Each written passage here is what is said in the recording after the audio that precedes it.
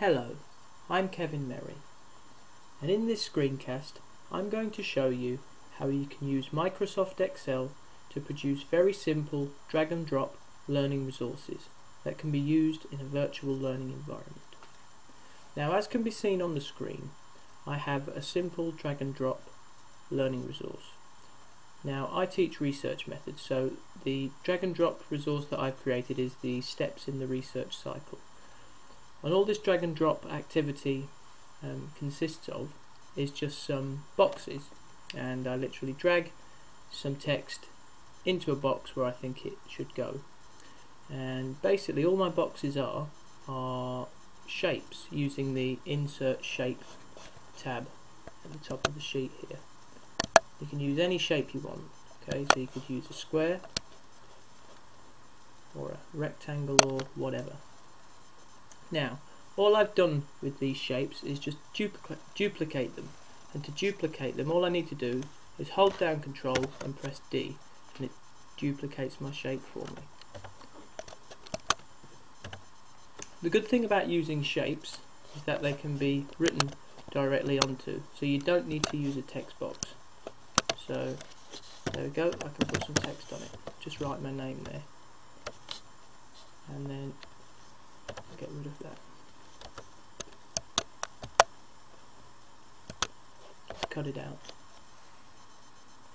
So, I've used some simple shapes that can be duplicated easily and there you are, you have the bare bones for your drag and drop activity. Now you'll notice that the sheet itself still looks like an Excel spreadsheet and that might not be very inviting for your learners. However, there are ways we can change that. Go to this Windows button in the top left hand corner or the Office button. Click it. Down at the bottom, bottom you'll notice it says Excel Options. If you click that button and then click Advanced, if you scroll down to the Display Properties, you can actually start to edit how this particular spreadsheet will look. So if we get rid of the horizontal scroll bar, vertical scroll bar, sheet tabs, get rid of the grid lines, click OK. As you'll notice, it looks a lot cleaner.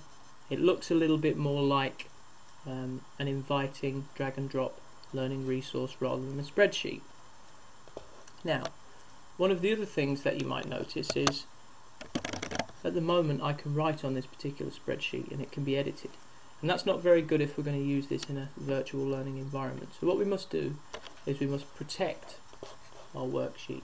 And we can protect it by clicking this tab review at the top of the sheet. Click protect sheet and then if we make sure that the top two boxes, select lock cells and select unlock cells are ticked and then click OK when we go to write on the sheet it'll actually come up with a message that won't let us actually do that. Now the clever thing about this is that despite the sheet being locked and unable for editing you can still use our drag and drop boxes.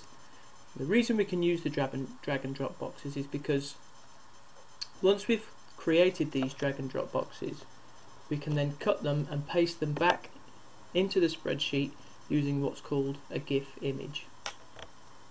So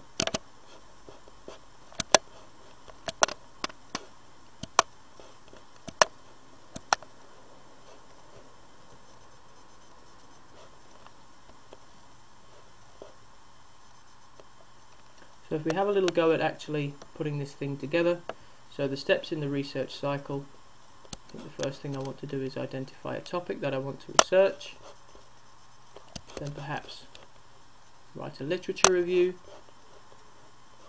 then form some sort of specific question, choose some sort of research design, obtain ethical approval for the study,